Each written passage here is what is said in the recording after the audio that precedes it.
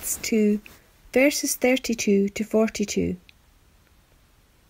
God has raised this Jesus to life, and we are all witnesses of it.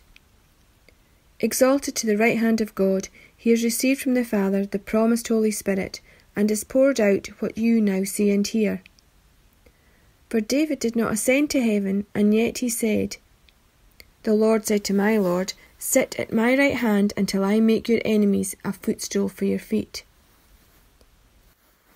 Therefore, let all Israel be assured of this God has made this Jesus, whom you crucified, both Lord and Messiah. When the people heard this, they were cut to the heart, and said to Peter and the other apostles, Brothers, what shall we do?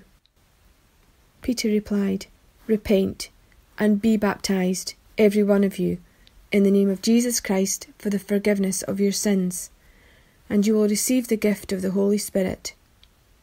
The promise is for you and your children, and for all who are far off, for all whom the Lord our God will call. With many other words he warned them, and he pleaded with them Save yourselves from this corrupt generation. Those who accepted his message were baptized, and about three thousand were added to their number that day. They devoted themselves to the apostles' teaching and to fellowship, to the breaking of bread, and to prayer.